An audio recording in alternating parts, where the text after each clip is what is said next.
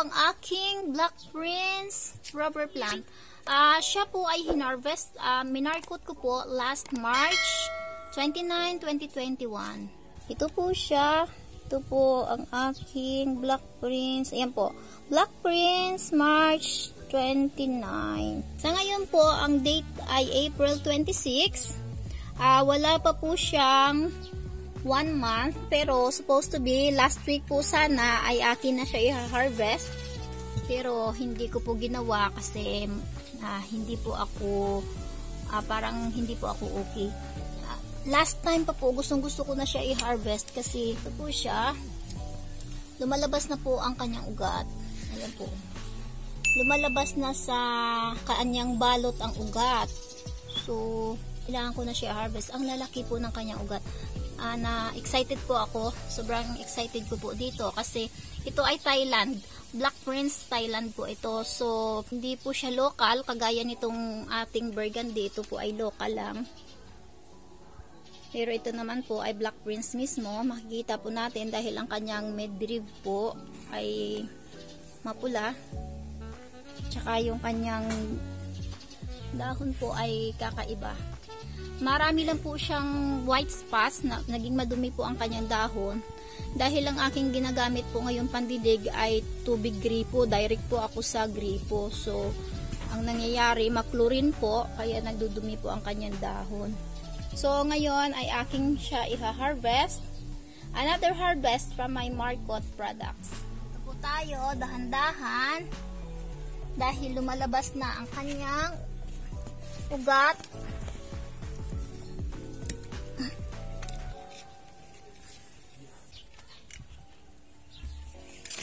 Okay. Ito po, mga kaharden, ang aking pinutulan siya po ay mula sa ugat, siguro baka mga yan ay 3 inches. So, napakababa po. Napakababa ng natira.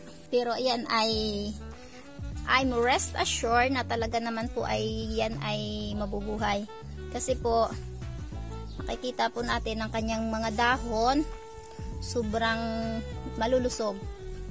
Ito pong natirang dahon na to, ay siya po yung dahon na nung binili ko siya, last time, last September, nabili ko po ito.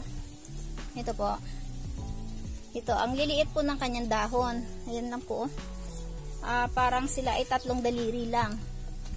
Ito po ang Black Prince Thai, Thailand. So, nung siya po ay tumagal sa akin, habang siya po ay tumatagal, ang tumatagal, ito na po ang kanyang dahon.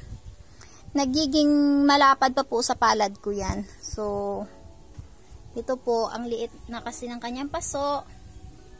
Kaya kapag yan po ay may sumuloy na, iriripat ko po iyan. At ang kanyang puno po ay nag times 4 na talaga. Sobrang laki na ng kanyang puno. Kaya ho ako, malakas ang loob na i-markot siya last March 29 kasi napakalaki na po ng kanyang puno. Ito nga po pala ang aking ginagamit na soil, soilless potting media. Ito po ang component nito, ang mixture nito ay uh, coco peat, carbonized rice hull, at saka vermicasoil po lamang. So, puro po ito. Siya po yung nilalagay ko sa aking mga markot harvest. Ayan po. Pero, ang nangyayari po ay lumalapad talaga ang kanilang dahon. At saka, hindi po talaga ako namatayan ng mga markot harvest ko. So, sila, uh, as of now, uh, talagang 100% pa po sila na-harvest ko at nagiging successful po lahat ng mga harvest ko. So, as of today, ito po ang aking ayan po, lumalabas na po kanyang ugat. So, napakaganda niya. Ang laki po ng kanyang stem. Tapos, ang kanyang cut po ay malamang ito ay mahigit mga 1.5 siguro ito. 1 foot and half to. So, talagang ganda. Sobrang ganda niya. Na-excite ako kasi another another rubber plant ko na naman. Sa ngayon po, wala kasi ako magagamit na clay pot. So, magtsatsaga muna ako dito sa aking plastic pot. Ito po, napakadali lang po lamang. Kasi ang aking, ang aking ginagamit na soilless potting media po ay hindi siya bago. Nakastock na po siya. So, ito po ang mas maganda. Po, sa totoo lang, ako po ay laging excited mag-markot. Kasi natutuwa po ako sa mga result.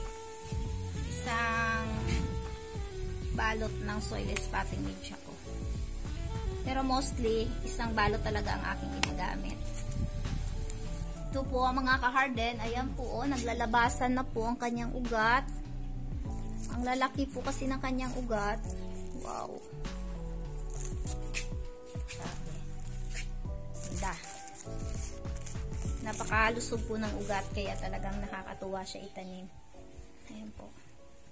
Hindi pa po siya talaga ganun karami pero yan ay stable na stable na po yan yung talagang feelings mo kapag ikaw ay hardinera, tapos kapag like na like mo po yung mga halaman na pinaggagawa mo, ay talaga ang saya sa pakiramdam. Ito po ay hindi ko siya hindi ko po siya i-water kasi basa po ang aking soilless potting media. So, pwede na po yan siya. Abangan po natin ito guys after one month ito po ay siguradong super ganda na po ito ng one month niya. Na po makikita ang kanyang ang kanyang maliliit na dahon mula po sa Thailand. Ito ay tumubo na siya sa Pilipinas. Maganda na, malaki na, sobrang ganda. Ito lamang po mga ka-harden ang aking maishishare sa inyo how to care a Black Prince rubber tree. Thank you for watching. This is Salamanan Salipa.